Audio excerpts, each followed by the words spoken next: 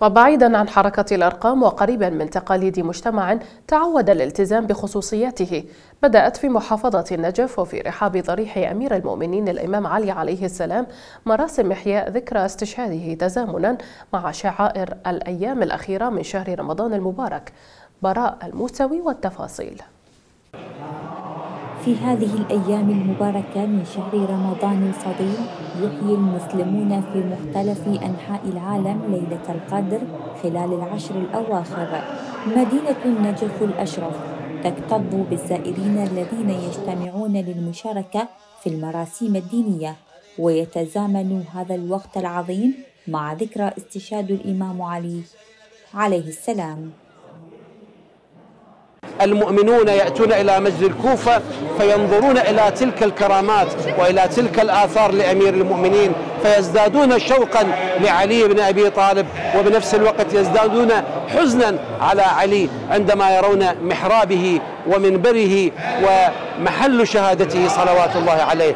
فعظم الله أجورنا وأجوركم أجور الإنسانية أجور المسلمين بأمير المؤمنين صلوات الله وسلامه عليه.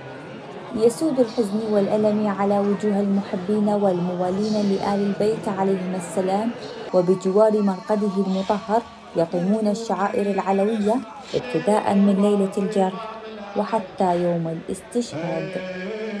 عظم الله أجورنا وأجوركم في ذكرى شهادة أمير المؤمنين عليه السلام. يستمر أبناء الكوفة العلوية المقدسة في تقديم الخدمات للزائرين الكرام الوافدون إلى مسجد الكوفة المعظم في تقديم وجبات الطعام لهم وذلك ابتداء من ليلة 19 رمضان آه، وحتى آه، ليلة الاستشهاد أيضا وكذلك ليلة القدر. عظم الله أجرنا وأجوركم في ذكرى استشهاد سيدي ومولاي علي بن أبي طالب أسد الله الغالب. خدمات موجودة والقوى الأمنية نشكرهم على هذا التواضع ونشكر أمات مسجد الكوفة على خدمتهم خدمة المواكب. ونحمد الله ونشكر على هاي النعمة. نعمة خدمة المواكب وخدمة الزوار.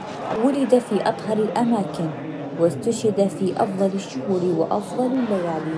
وكان مثالا للنبل والشجاعة وقضى حياته في الجهاد في سبيل الله والزهد وإقامة العدل. إنه رمز من رموز الكمال البشري على مر التاريخ بعد رسول الله. من العتبة العلوية المقدسة براء الموسوي النجف الأشرف.